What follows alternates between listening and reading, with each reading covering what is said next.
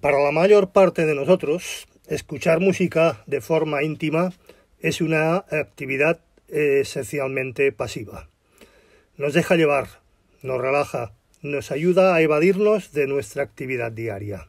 Sin embargo, cuando decidimos abordarla para poner a prueba la calidad de un amplificador, auriculares, altavoces o cualquier otro equipo de sonido, nos predisponemos adoptar una actitud más bien activa. Permanecer alerta para identificar o intentar identificar las características del, positivo, del dispositivo que estamos probando es una estrategia acertada, pero también es importante dejarnos guiar por una metodología que nos ayude a extraer conclusiones lo más objetivas posible de una actividad que es eminentemente subjetiva y emocional. El propósito de hoy es proponeros un, procedimiento que puede resultaros de ayuda cuando necesitéis comprar un nuevo elemento y tengáis la oportunidad de probarlo antes de haceros con él. No siempre es posible poner a prueba un componente antes de comprarlo, lo sé pero cuando se presenta la oportunidad de hacerlo, merece la pena aprovecharla para cerciorarnos de que ese, ese elemento realmente nos ofrece lo que estamos buscando.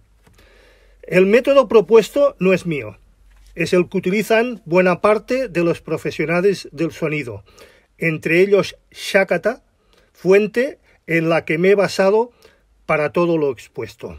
Y por supuesto, los audiófilos, que lo utilizan para identificar la calidad de un equipo de sonido y también, aunque este objetivo es más complejo, qué rol ejerce un determinado componente dentro de la cadena IFI. Antes de meternos en harina, es importante que afianciemos bien nuestro punto de partida. El primer consejo es que cuando decidáis llevar a cabo vuestras propias pruebas, seleccionéis temas musicales que tengan una toma de sonido de la mejor calidad posible. Una grabación mediocre representará un obstáculo que impedirá al equipo que estamos probando entregarlos lo mejor de sí mismo. Pero una grabación sobresaliente le permitirá expresarse y nos ayudará a valorar su potencial. Al final os propondré varios cortes musicales que tienen una, una toma de sonido muy notable. Si vuestro propósito es comparar el rendimiento de varios componentes, lo ideal es que llevéis a cabo las pruebas a ciegas, sin saber cuál está sonando en cada momento, e igualando el nivel de presión sonora en todos ellos. Para ejecutar las pruebas a ciegas necesitaréis la ayuda de otra persona. Y para igualar el nivel de presión sonora y evitar que el que suena más alto nos invite a concluir, quizá erróneamente, será mejor que tengamos un sonómetro. Consciente, consciente de que no siempre es posible contar con la ayuda de otra persona y que también que la mayor parte de nosotros aficionados a la música no disponemos de un sonómetro, pero sí de las circunstancias que nos plantean tomar las pruebas de esta forma, merece la pena ejecutarlas así, para que podamos extraer una conclusión lo más fidedigna posible. Unos consejos más estos más asequibles, pero igualmente importantes. Cerrad los ojos durante la audición y, y anotad en una libreta todo aquello que percibáis. Cerrar los ojos nos permite inhibirnos de los estímulos visuales y concentrarlos en los estímulos auditivos. Y el tomar notas es también una práctica muy recomendable sobre todo si vamos a probar varios componentes, porque nuestra memoria auditiva es realmente mínima. Si no lo hacemos, nos arriesgamos a asignar a un elemento los atributos que hemos identificado en otro diferente. Sigue la melodía. El método de Ivor Tiefenbrunn. Este procedimiento fue ideado por el fundador de Lean, una reputada y veterana compañía escocesa especializada en componentes de muy alta calidad. Lo que nos propone es que intentemos centrar toda nuestra atención en un único instrumento y seguir su melodía, dejando que todos los demás queden en un segundo plano. Un buen equipo de música debe ser capaz de restituir cada instrumento con precisión, separándola nítidamente de todos los demás, por lo que debería permitirnos lograr, lograrlo sin esfuerzo demasiado alto. Eso sí, este método no es igual de eficaz para todos los géneros musicales. Resulta muy útil con pequeñas formaciones orquestales, dúos, tríos, solos, pero algo más complicado con las grandes masas orquestales y con aquel tipo de música en el cual se introduce de forma expresa distorsión, rock, heavy metal, etc. En cualquier caso, si la toma del sonido de la música que estamos escuchando es de buena calidad, este método nos funcionará genial. Si estamos probando unos auriculares o unas cajas acústicas, eh, seremos capaces de focalizar nuestra atención en cualquier instrumento de una forma muy natural y neutral. Pero si el componente que estamos eh, analizando no está a la altura de los instrumentos, aparecerán entremezclados y nos costará mucho identificar uno de ellos con precisión y seguirla la melodía durante todo el corte o pieza. Además, el método nos propone eh, Ivor Tiefenbrunn que cuando probemos un dispositivo de sonido nos esforcemos por identificar los atributos que refleja con más claridad. La intención es que este procedimiento sea lo más asequible posible, por lo que vamos a seguir únicamente aquellos parámetros que son fáciles de discernir. La escena sonora. Si la toma de sonido del tema musical que estamos escuchando es buena, las cajas acústicas y los auriculares que estemos probando deberían ser capaces de colocar cada instrumento en el lugar que le corresponde, en la ubicación física que ocupaba en el escenario o en la sala de conciertos o en el estudio de grabación donde se realizó la misma, recreando así una escena sonora virtual con amplitud horizontal, vertical y profundidad. Si cerramos los ojos, las cajas acústicas o los auriculares deberían desaparecer completamente. Deberíamos poder localizar la voz del cantante delante de nosotros, justo en el centro. También deberíamos percibir los instrumentos que están a su derecha, a su izquierda, delante y detrás de él. En ningún caso deberíamos identificar el sonido que emerge de la ubicación física de nuestros altavoces o auriculares. Cada instrumento debe formar parte de una escena sonora bien definida. Los transitorios. Una forma sencilla e intuitiva de definir los transitorios requiere identificarlos como sonidos intensos, de una muy corta duración, que muchos componentes de audio no consiguen reproducir correctamente. Xilófonos,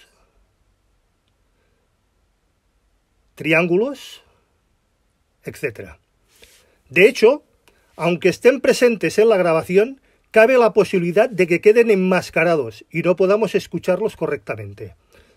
Hay muchos instrumentos ricos en transitorio, pero uno de los más fáciles de identificar son las castañuelas.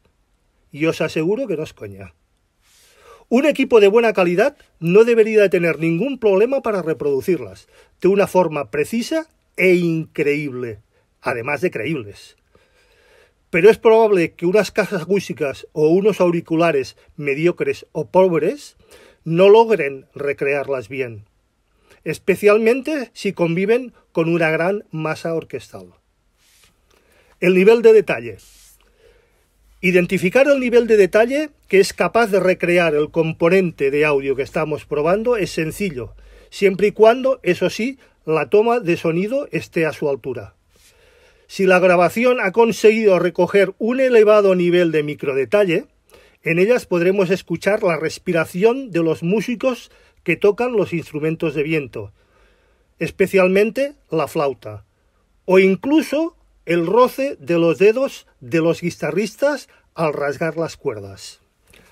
Algunas grabaciones de Paco de Lucía nos permiten apreciar esta última característica con muchísima claridad si los altavoces son capaces de restituir esta información musical. Si la distorsión supera cierto umbral, nos provocará fatiga acústica. Uno de los desafíos a los que se enfrentan los componentes de audio, especialmente los auriculares, las, cajas acústicas y los amplificadores, es la distorsión. Suele presentarse incrementos de nivel de presión sonora por encima de nuestro umbral y pueden arruinar nuestra experiencia debido a lo que se llama fatiga acústica. Si subimos el volumen hasta alcanzar niveles de presión sonora realista, después de unos minutos notamos molestias en los oídos o embotamiento mental. Es probable que esta presión acústica de los componentes que estamos probando esté, siendo comprometida por la distorsión. Esos son los temas eh, propuestos para poner a prueba la calidad de los equipos que eh, quisiéramos analizar o quisiéramos adquirir o quisiéramos comprometer. Además de indicaros el título del corte y su intérprete, os especificaré también el formato en el que reproducirlo.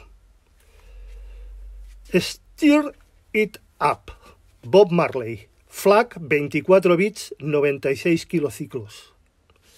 You Make Me Feel Like a Natural Woman, Susan Wong, FLAC 24 bits 96 kilociclos.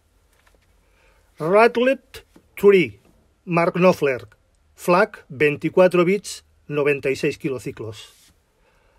Autumn in Seattle, Shuyoshi Yamamoto Trio. PCM 16 bits 44,1 kilociclos. Spanish Harlem, Rebecca Pingeon, PCM 16 bits 44,1 kilociclos. You Got a Frame, Susan Wong, FLAC 24 bits a 96 kilociclos. Wasted Time, The Eagles, PCM 16 bits 44,1 kilociclos. Vivalde, Fluid Concerto in D. Chesky Records, PCM 16 bits 44,1 kilociclos. Stimela, Hume Basakela, PCM 16 bits 44,1 kilociclos. Luz Life, Willis Stayhorn, FLAC 24 bits 96 kilociclos. Afro Blue, Bongo Santa María, FLAC 24 bits 96 kilociclos. April in Paris, Duke Hansburg, FLAC 24 bits 96 kilociclos. No Sanctuary Here, Chris Jones, FLAC 24 bits 44,1 kilociclos.